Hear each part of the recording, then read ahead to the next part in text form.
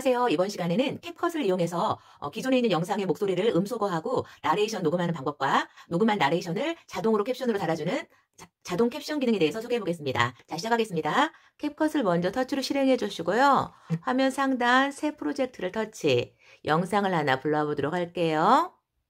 오른쪽 아래 추가를 터치, 뭐 재생을 해보면 영상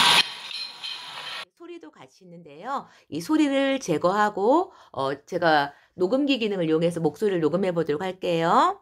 영상 맨 앞에 있는 음소거 보이시죠? 이 부분을 터치하면 음소거가 되게 됩니다. 다시 재생을 해보면 소리가 안 나고 있죠? 이제 여기에 제가 지금 이 영상을 소개하는 어, 설명을 목소리를 녹음 한번 해보도록 할게요.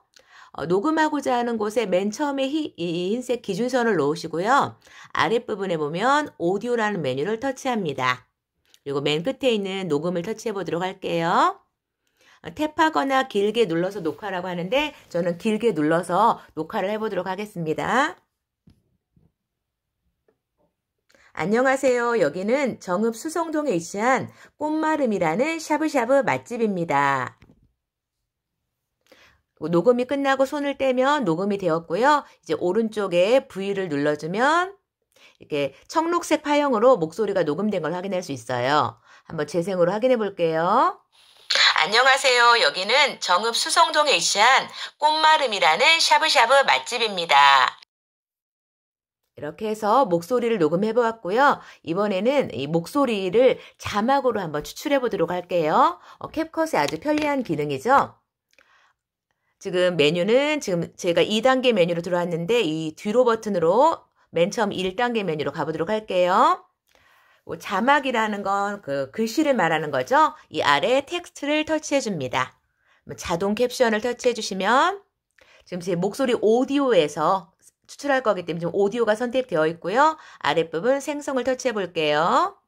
캡션이 생성되었고요. 실행을 한번 해. 안녕하세요. 여기는 정읍 수성동에 위치한 꽃마름이라는 샤브샤브 맛집입니다. 네, 이렇게 해서 제 목소리가 자막으로 들어갔는데 이 자막이 어, 기본 서체인 흰색의 흰색의 지금 음, 글씨가 너무 작기 때문에 이 자막 스타일을 좀 먼저 바꿔보도록 할게요. 이 자막 중에 하나를 터치로 선택해 주시고요. 아랫부분 스타일을 터치해 줍니다. 오, 여기 있는 네 번째 있는 편집 효과를 눌러주시고 아랫부분에 여러 가지 디자인이 있는데요. 예, 색 중에서 본인이 원하는 디자인을 골라주시면 되는데 왼쪽에 있는 프로라는 건 어, 유료로 결제해야 쓸 수 있는 거기 때문에 어, 프로가 아닌 것 중에 하나를 선택해 보도록 할게요. 저는 이 보라색을 한번 해보도록 하겠습니다. 음, 보라색. 좀 밝은 색으로 해볼까요? 그리고 글씨 크기를 이 자막이 선택된 상태에서 오른쪽 아래 대각선으로 좀 드래그해서 확대를 좀 해줄 거고요. 위로 좀 끌어보고 글씨가 어, 고딕체라 너무 딱딱한 것 같기 때문에 이 두 번째 글꼴을 눌러서 서체를 좀 부드러운 손글씨체로 좀 바꿔보도록 할게요. 글꼴을 바꿔봤고 마무리하기 위해서 어, 화면 중간에 있는 V로 마무리를 해보도록 할게요. 그리고 재생을 해보면 안녕하세요. 여기는 정읍 수성동에 위치한 꽃마름이라는 샤브샤브 맛집입니다.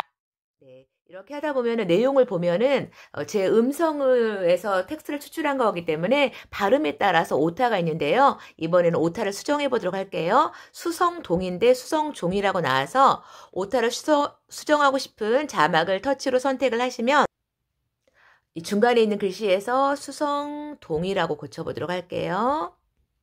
수동동, 제 목소리가 정확하지 않았나 봐요, 발음이. 수성동에 위치한 문장이 길다고 한다면은 이 정읍 있는 부분을 엔터키를 눌러서 이렇게 두 줄로 만들어 주셔도 되고요. V로 완료해 보도록 할게요.